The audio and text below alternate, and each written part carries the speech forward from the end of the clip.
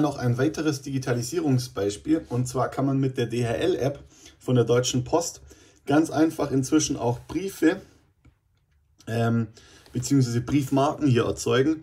Und dann quasi muss man nicht mal mehr eine Briefmarke aufkleben, wenn man einen Brief versenden möchte, sondern man bekommt hier so einen Postcode.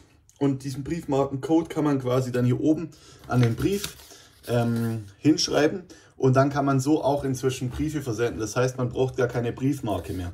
Damit spart man sich in Anführungszeichen den Weg äh, zum Nachschub kaufen bei so Briefmarkenshops und äh, hat quasi keinen Stress mehr.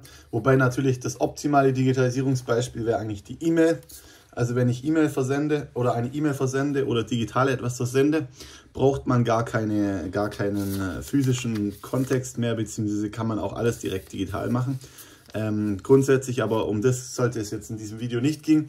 Ich wollte nur mal erklären, dass es jetzt heutzutage hier digital möglich ist, eine Briefmarke quasi ähm, zu versenden bzw. eine Briefmarke zu kaufen und dann eben hier aufzuschreiben. Und das gleiche geht quasi auch über eine Art QR-Code für Pakete. Genauso in dieser DHL-App hier. Also man kann hier auch Pakete ähm, quasi hier diese Frankierung online schon wählen und dann bekommt man hier einen QR-Code, mit dem geht man zum DHL-Shop und kann dann über diesen QR-Code einfach schon das Paket aufgeben und man muss auch nichts mehr an ähm, Absender und Adressinformationen quasi draufschreiben, sondern der Paketshop druckt einem das dann aus und dann braucht man auch gar keinen Drucker mehr für solche Dinge. Das heißt, hier sind äh, sozusagen ja, ein größeres Digitalisierungsbeispiel am äh, Paketversand bzw. Briefversand.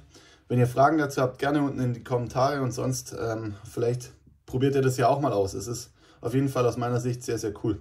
Ciao, ciao.